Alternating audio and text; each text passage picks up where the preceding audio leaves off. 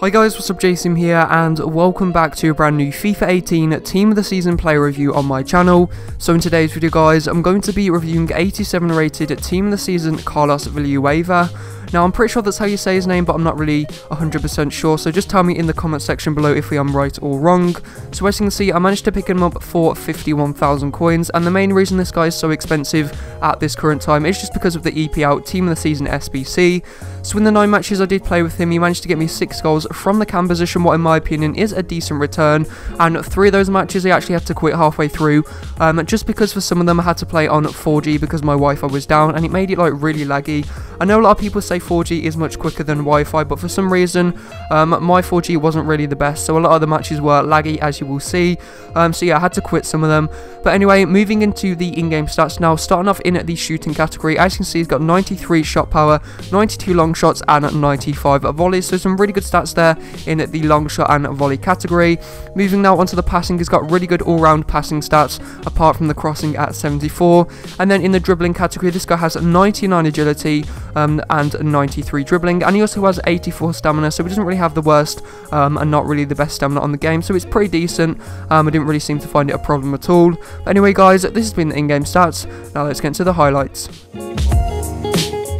So now moving into the highlights for Team of the Season Villanueva. The first pro icon from this card was his long shots. Now as you see a lot of the goals I do score in this video are from outside the box. As you can see the first one there is a really nice rainbow flick showing off those 95 volleys there and just finishes off it really nicely into the top right corner past the goalkeeper. Then after that the next pro icon from this card was his dribbling and just like all 5 star skillers um, they usually have really high dribbling and Villanueva is exactly the same. He has really good agility at 99 but is also his key stat and he has around around 93 dribbling. So this guy has really, really good dribbling. And then as has already said, you know, the agility at 99 is the final pro icon from this card. So now moving into the cons, the first con icon from this card was his strength. This guy's extremely weak and will easily get pushed off the ball. So you just need to um, watch out for that um, quite a lot. You know, try not to get too close to defenders, and probably like I'd recommend to you know perform the skill move just before the defender comes towards you, um, so you don't need to really worry about you know going into that physical battle. And then the final pro, um, sorry, the final con I from this card was his pace. Now guy is really slow. Um, he's got 70 sprint speed and 70 acceleration, so this guy's not fast at all.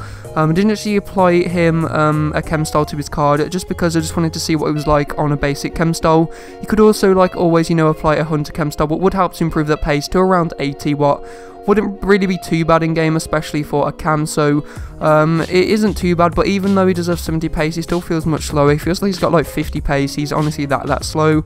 Um, but apart from that, this card was pretty decent. He's got the medium to low work rates, what isn't bad for a cam, isn't the best though, high, um, low or high medium would be better. Um, he's only got a 3 star weak foot, so he's not really the best on that weaker right foot. He can use it occasionally, um, as you know most players can, but apart from that, overall, I'm going to say this card is good, but not great. It's one of those cards, you know, I was sort of expecting a little bit more out of this card just because it does have the 99 agility, and usually when a player has 99 agility, they are really good at scaling. But for some reason, Villanueva, he was good for scaling, but it wasn't really great, and I would expect, you know, a lot more out of a player with 99 agility. But anyway, guys, this has been the highlights. Uh, let's get into the overview.